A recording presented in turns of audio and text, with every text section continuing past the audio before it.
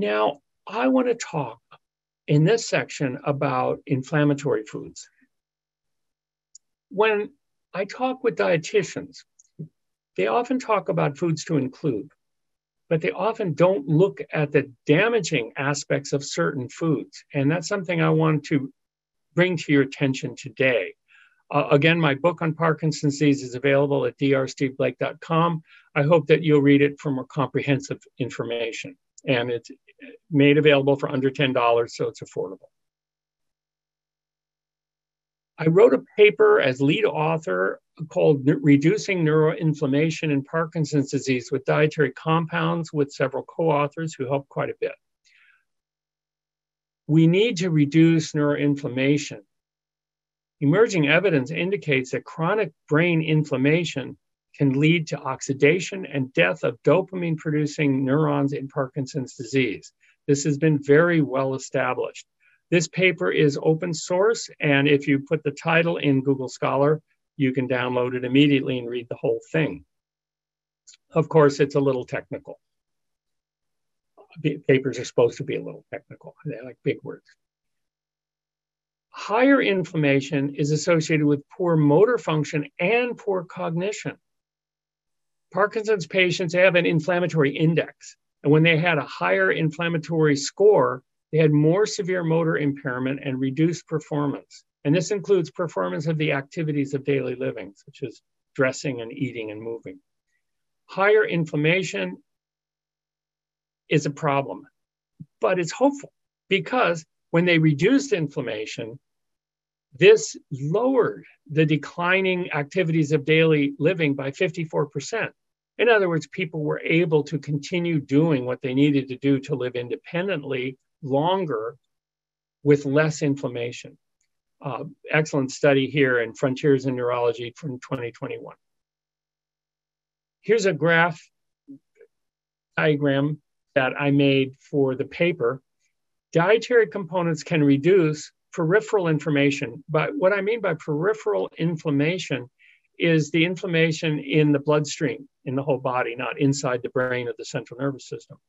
So the LPS is lipopolysaccharides, which I'll introduce soon, and they increase peripheral inflammation, and then that increases brain inflammation. Arachidonic acid, only found in animal fat, I'll introduce that in a minute. AGEs, I mentioned advanced glycation end products, and I will also introduce those more in a minute.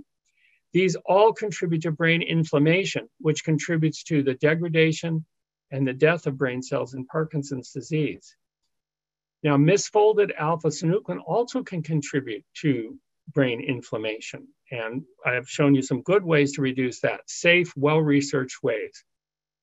Brain inflammation, of course, leads to more production of cytokines are many cytokines that increase inflammation. These can activate microglia, our kind of police force of the brain, and then the microglia can make more cytokines, resulting in the loss of dopamine producing neurons. Oxidation can also result in the loss of dopaminergic neurons. So you get more symptoms of Parkinson's disease. Which things are creating this neuroinflammation? Which things would we like to avoid? animal fat. Arachidonic acid, you may not have heard about it before. I also wrote a college textbook called uh, Fats and Oils Demystified. If you want to learn all about fats and oils, I know that Udo Erasmus, one of my heroes, is speaking on fats and oils at this conference. And uh, on my website, drsteveblake.com, you can also download my textbook on fats and oils. Uh, arachidonic acid comes only from animal fat we make it ourselves as animals. We, we make arachidonic acid, but we make just the right amount, not, not the amount that would increase inflammation or any inflammation. But if you eat animal fat, then you do get excess arachidonic acid. This is processed by lipoxygenase enzymes to become hydroperoxy eicosapentaenoic acid, one of my favorite words, and then inflammatory leukotrienes. These are powerful inflammatory agents. Arachidonic acid is blocked by aspirin, Advil, and many of the nonsteroidal anti-inflammatory drugs. What if you didn't eat it? Then you wouldn't need the drugs to block the inflammation. this to me makes more sense than eating animal fat and then eating a bunch of drugs with uh, side effects. Arachidonic acid has been shown to increase inflammation and program cell death in the midbrain, the area that dopamine is created. Arachidonic acid also increases the oxidation of dopamine, which can lead to cell death and um, of the dopamine producing neurons. Here's another substance, lipopolysaccharide. When meat, poultry, fish, or milk is cooked, the bacteria are killed. This is necessary, or we die of botulism or some other horrible disease. The leftover membranes of these bacteria, gram negative bacteria, very common type of harmful bacteria, are known as lipopolysaccharides. When they enter the body, they're known as endotoxins. And they play a huge role in the progressive neurodegeneration Parkinson's disease.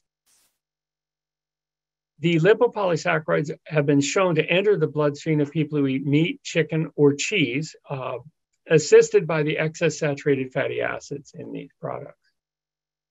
They're an important trigger for Parkinson's disease. Lipopolysaccharides can increase oxidative stress, increasing inflammation. There's a direct role of blood lipopolysaccharides on the central nervous system.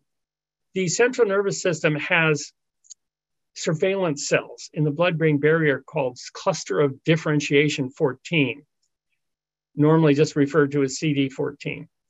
And there are receptors that detect that there are is a bacterial infection. And when they see the endotoxins from the lipopolysaccharides, from the dead bacteria in the animals, they think there's an infection. So they ramp up the inflammation in the brain, increasing the death of neurons in the substantia nigra and the striatum that are necessary for movement. They increase inflammatory cytokines and Parkinson's disease. They stimulate the astrocytes and microglia that are like the police force in the brain, and then they put out inflammatory cytokines such as tumor necrosis factor alpha, interleukin 6, and many others. Uh, there are a long list of cytokines that are inflammatory and that are necessary for real inflammation but are only damaging in fake inflammation, which is what your body is seeing with these lipopolysaccharides. The key avoid animal derived food to slow the progression of Parkinson's disease. Simple enough. By the way, I've been avoiding animal derived food for 53 years, so certainly it's possible.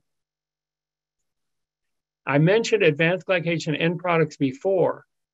Uh, sources are fried, barbecued, or broiled chicken, beef, pork, or fish, and aged cheeses.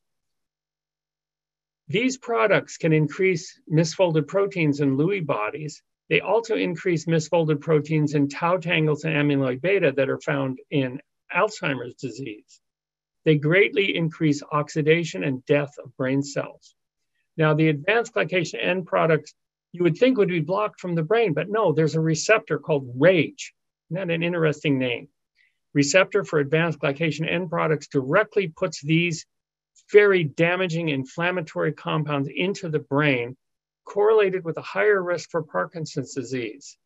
And they've looked at Parkinson's patients, they have more of these damaging advanced glycation end products in the brain.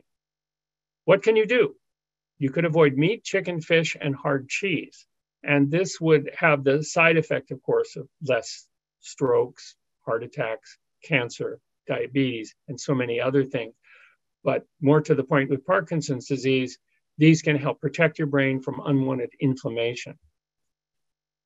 I'm going to talk a little bit about dairy products now because they're one of the key ways that your brain can become inflamed and damaged.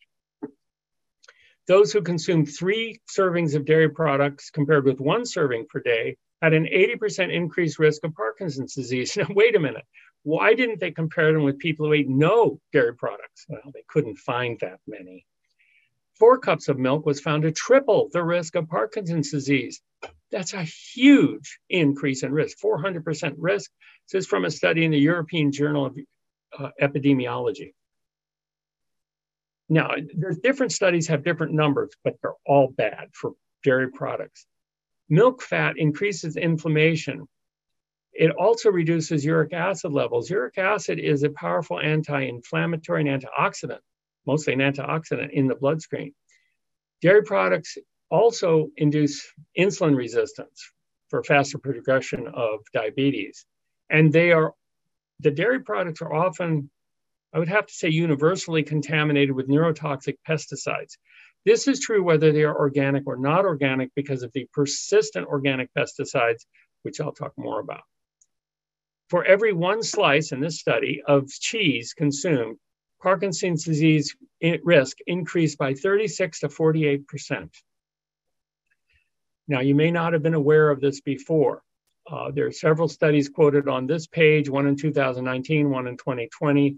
And here are more studies of avoid dairy products to avoid the progression of Parkinson's disease. In this case, dairy products increase the risk of Parkinson's disease 2.3 times.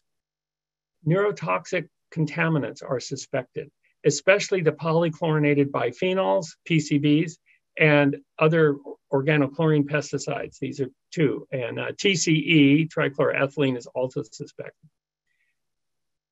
In this study, people with the lowest dairy product consumption were 60% less likely to get Parkinson's disease.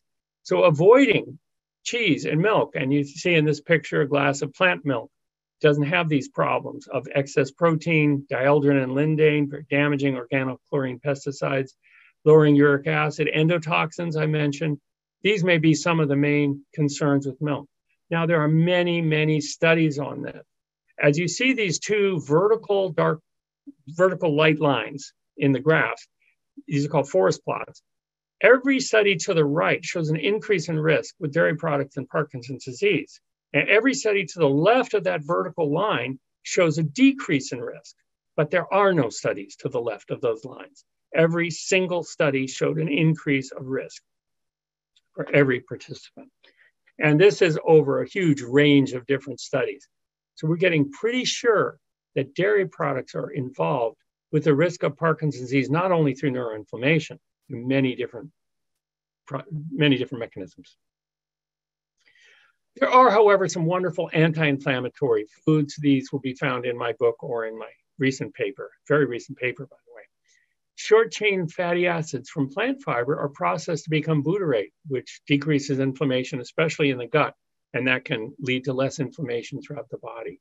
I mentioned turmeric, the curcumin is anti-inflammatory. I mentioned grapes, the resveratrol is anti-inflammatory. Soy products, the genistein is anti-inflammatory.